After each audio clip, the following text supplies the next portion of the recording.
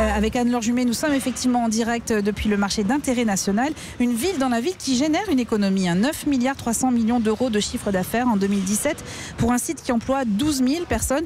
Bonjour Stéphane Layani. Bonjour Eva. Merci d'être en direct sur Europe 1. Vous êtes le président directeur euh, général de ce marché unique. Vous savez, quand on prononce le mot marché euh, dans le langage commun, on s'imagine la petite place d'un village avec des étals très colorés.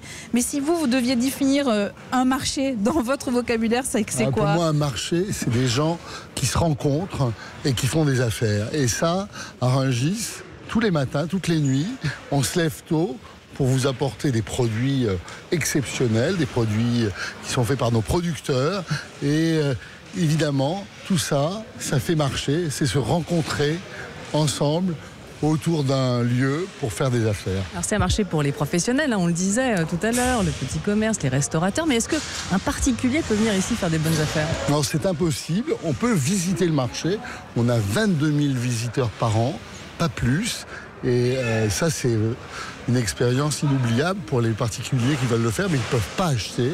C'est un marché B2B, business to business. Mais si je suis un professionnel avec une carte, je peux quand même venir.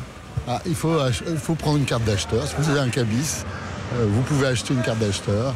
L'entrée est pas chère dans ces conditions.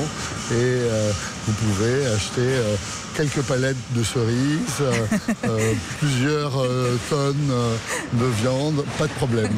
Et, mais on disait que c'était une ville dans une ville, hein, le marché de Rungis. On peut venir boire un café, venir dans un des nombreux restaurants qui oui, sont ça c'est l'exception. On a 19 restaurants sur le marché très différents. Ça va du, de la belle table, la plus belle table, c'est la Marée, la Loyau, au, routier. On y mange très bien. Il y a une ambiance à, tout casser et c'est souvent ouvert 24 heures sur 24. Donc euh, en pleine nuit, quand on a une petite faim sur le coup de 3 heures, il faut aller au Vauquitette. Voilà, en s'acquittant d'un petit euh, un péage quand même 20 euros hein, pour, euh, pour venir ici. Voilà.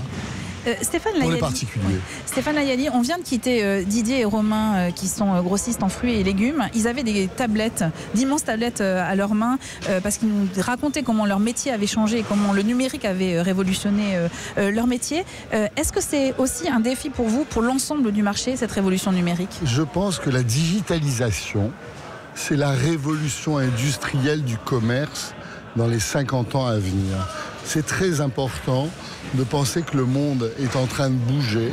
On a connu la révolution du charbon, puis la révolution de euh, l'électricité et maintenant c'est la révolution de l'électronique. Et c'est vraiment euh, ici à Rungis un marché moderne. Il ne faut jamais penser aux grossistes avec le petit crayon derrière l'oreille.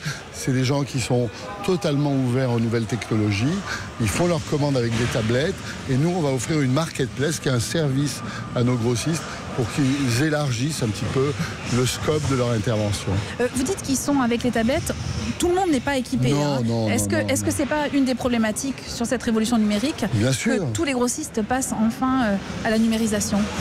Excellente question. C'est exactement ça.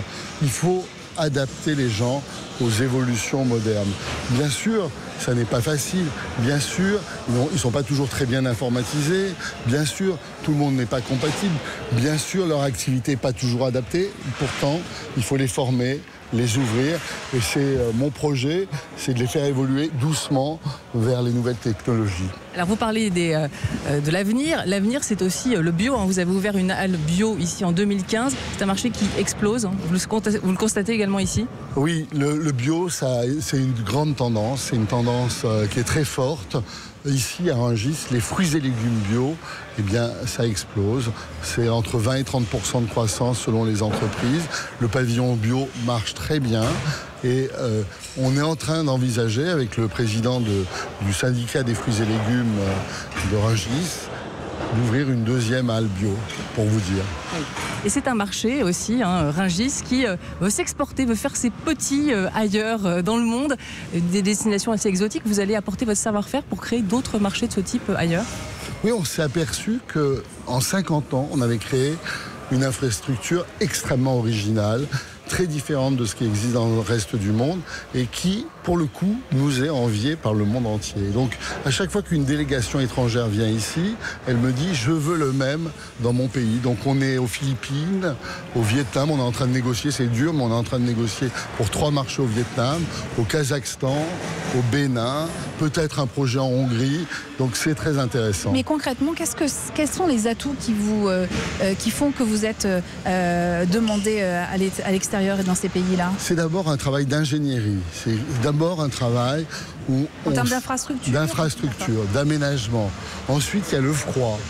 Euh, en plus, il y a l'attractivité commerciale, il y a la sécurité sanitaire, la transparence, le fait qu'il y a une vraie traçabilité des produits. Et vous avez l'expertise sur, ces, expertise sur ces questions-là.